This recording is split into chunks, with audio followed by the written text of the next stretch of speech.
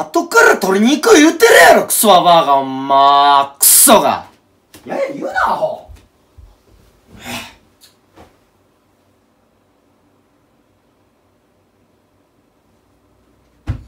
なんて言うたらなんて。おい。は？持っていけて言うとったお母さんが。何してんね洗濯物持っていけって言っとった。ん取りにくい言うてるやんけ。お母さんが言った時にやれアホてかせっかく畳んでたのに。は？畳んだらお母さんとはよかった別に。あんたが畳んだわけじゃなかろうが。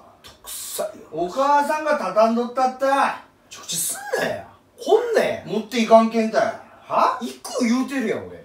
何回も言ったろが。早持っていけ早持っていけて。ほんでいい加減持っていきなさいって言ったらなんて言うたあんたはクソババふざくんなよ。うるさいねマジで。しつこいね。いやいやいやいや。お母さんが選択肢畳んでやっとっただけ持っていけって言ったら持っていけ。行くから。ほんとやしつこいね。あんたがすぐ持っていかんけんで一発で持っていけばよかった。もう絶対畳んでやらんけんなあんた。自分の分だけ探して自分で持っていけ。ほんねまずもう畳まんけんあんたんと。はあんたんと洗濯もせんけんも意味わかは嫌だろ。だいクソババアに洗濯されると嫌だろ。クソババアやけん。草かよ。お母さんがクソババアなの。あんたクソ息子だクソ息子もうだけどクソババアだけん。洗濯せん方がよから。汚かよ。クソにつくよ。年はマジで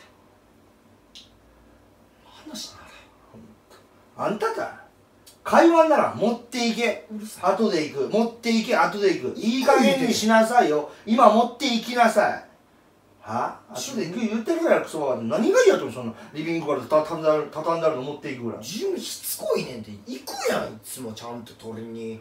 言っとランキングやがっとったろが。お母さんもすげえ1回2回なりよ。も絶対あんたの選択宣言う見て。ふざけんなよ。さクソ息子。さそのままチャンネル登録よろしくねーベベベベベベベベベベベベベベベベベ